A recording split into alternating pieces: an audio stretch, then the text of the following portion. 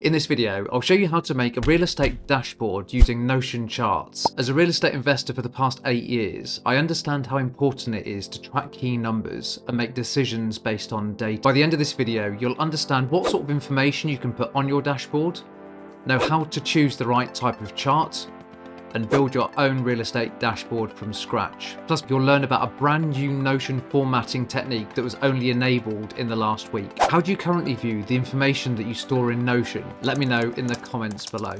The first step to build our real estate dashboard is to decide what information we want to show. But how do we do this? Well, the other day I spent 15 minutes hunting for a database that I hadn't used for ages and it drove me mad. So I decided to move all of my databases into one place and I gave them much clearer names. So have a think about your business. What sort of information do you store in Notion?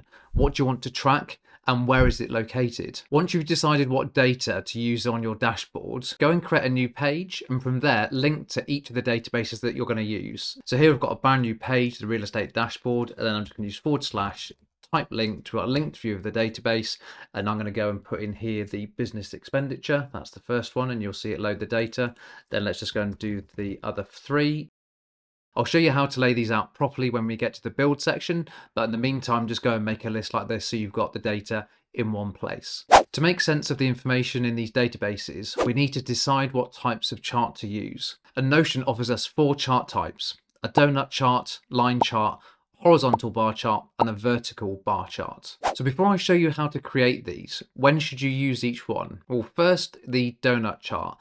This shows you the breakdown of a whole. So no matter what size of numbers something is, for example, you just want to see the proportions within that whole. So in real estate, it could be things like a breakdown of your property expenses. It could be what marketing channels your leads come from, or how much of your investors' funds do they have remaining after they've put money into a couple of projects. Line charts show us a trend over a continuous scale, for example, time or money on the x-axis.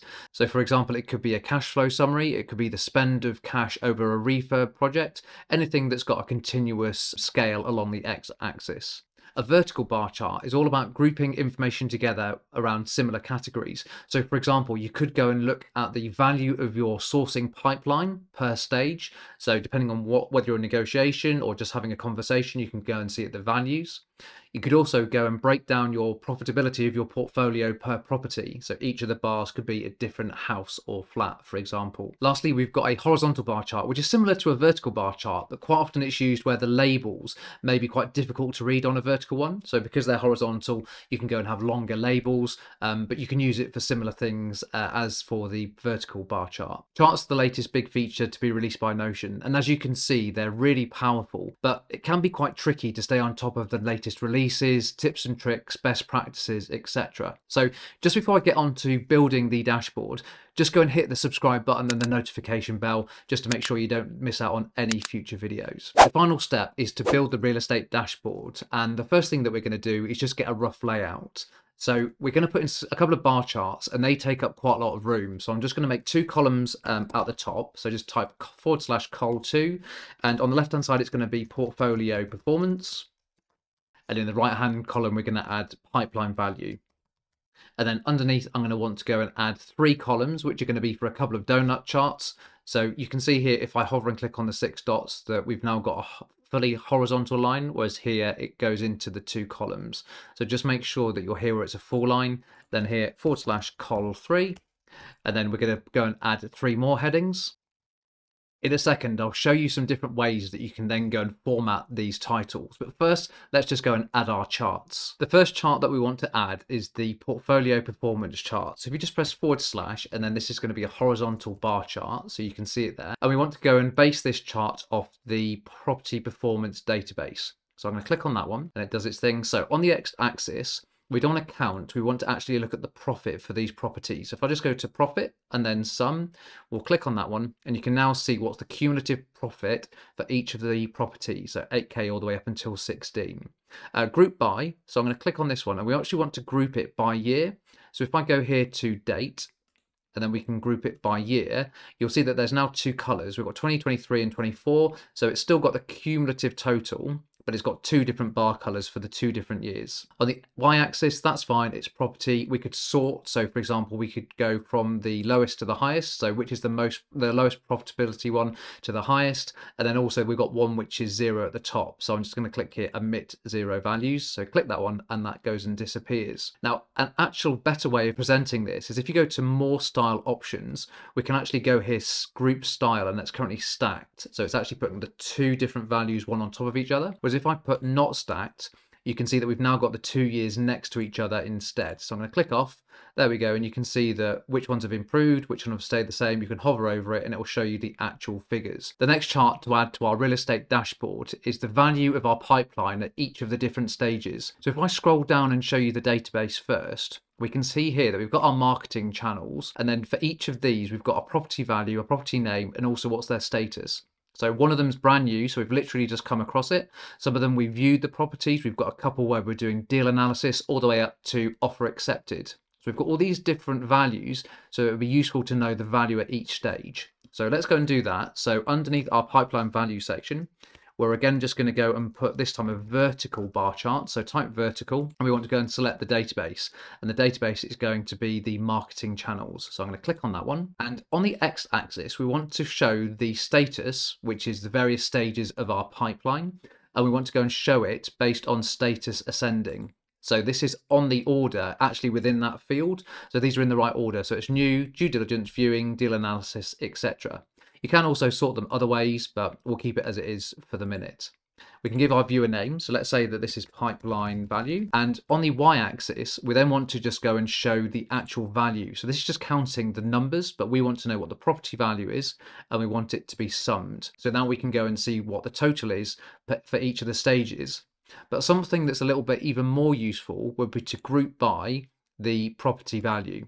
So if I click on that one, it now breaks down the various properties for each of the stages and I can hover. So for example, within deal analysis, we can see here that one property is uh, 100 and the other one's 100 or here within offer accepted, one's 110 and one's 120. Now, another little tip is that new property are things where we've done no research into it. It's literally just landed on our desk. And so we don't really want that in this view because it may be complete rubbish. So let's go and remove the new property. So if I actually go to filter under here, I can go to status and I can say the status is just in progress. So we're not bothered by offer accepted. We don't want new properties. We just want the ones where it's within our pipeline. And you can see that we've now got a zero figure here.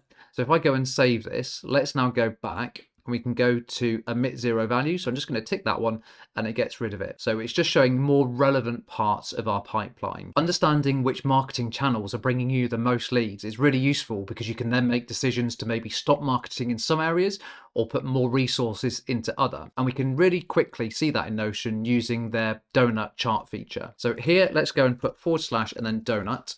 And you can see we can add a donut chart and we want to go and grab this information from our marketing channels again. And what we want to go and select is what's the lead source. So whenever a lead comes through, we'll say, where has it come from? So what's the lead source? So I'm going to click on that one and each slice is going to represent a count. So all this is doing is just counting up where have each of the leads come from. I mean, it's presenting it in a donut. We can sort, we can go and change the colors, etc. Um, in terms of styling, we could go and remove the icon in the middle, or we could go and add the number back. Uh, we've got the legend. Let's go and add data labels. So we, we may just want to go and count this. So we could just literally go and say, what's the percentage? So how many in each?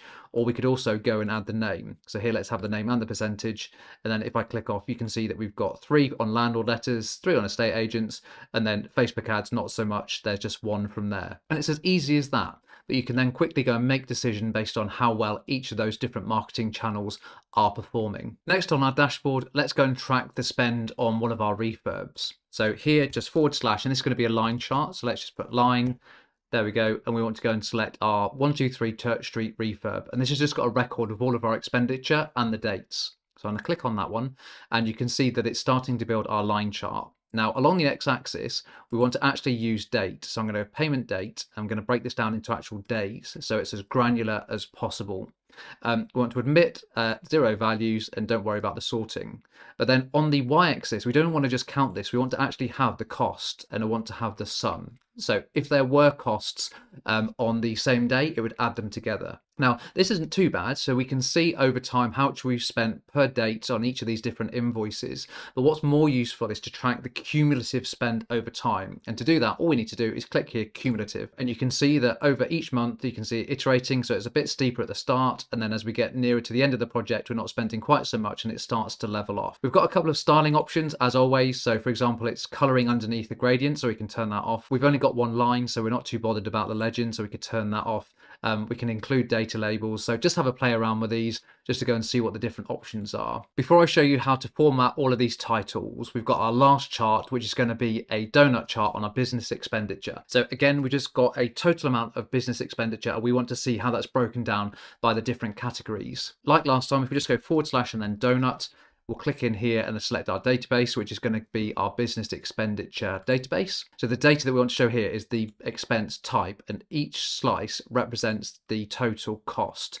So let's just go in here and put sum, and you can see we've now got the total cost in the middle, and it's sorting it by high to low. So we've got a couple of other formatting options. So rather than colorful, perhaps we could just go and select blue, uh, and then under styling, we can go and show the value in the center or remove that like last time. We'll keep the legends, the data labels. Let's go and add just the name of them because that could be quite useful. Uh, and then as I click off, you can quickly see that salaries are the biggest, so that's 10k out of the 27, all the way down to a lot of the smaller stuff like accounting, which is uh, 1k or 3.7%. So I mentioned earlier that Notion have just released a new way of formatting data that's in your pages. So before I show you that, just quickly, here are the other ways that are still the same as before. So for example, portfolio performance, if you just go and put three hashes in front, you can make a bigger name. So we could just do that. Uh, for our pipeline value, we could again go and put the three hashes, but then just click on these six dots and we can go and change the color. So let's go and say color, let's make that yellow. So that just goes and highlights it a little bit more. Underneath for marketing channels. So this trick is if you go here to the six dots and you go turn into, and then let's just go and put quote, it goes and puts a line at the left hand side. And we can also go to the six dots and go quote size and pick large. So that goes and just makes it a little bit bigger. And again, like uh, the other headings, we can go color and let's go and make that, for example, blue. For our refurb spend heading, we can actually go and create this using a table. So if I go forward slash and then table, and here we want to delete all of the columns, all of the first columns. So we'll go here and delete. And we actually don't want either of these two rows as well. So I'm just going to go delete to that one and then delete here. And then in this one cell that's left, let's just go and type refurb spend.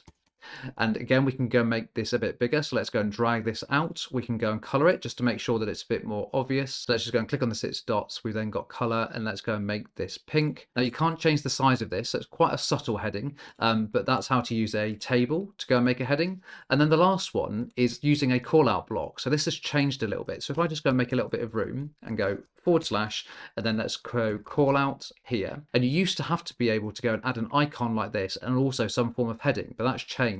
So firstly, we can go and get rid of this. So if I just go remove, we no longer need the icon. And then I can go and make this a bit bigger. So let's make this into our heading three. And I can just go and drag this in to the top. We can also go and do this with our chart. So I'm going to go and drag this underneath. So we've now within this call out block, we've got a really nice background color. We've got a nice heading and the chart, and it's also highlighted. And if you don't like the highlights, we can just go into our six dots, go to color, and we can go default. And then all this does is it's put it into a really nice border, but without the icon and the weird header that you had to do before. So it's a really nice way just to lay out your Notion pages. Now, everything I've told you is useless if you want to create a navigation dashboard.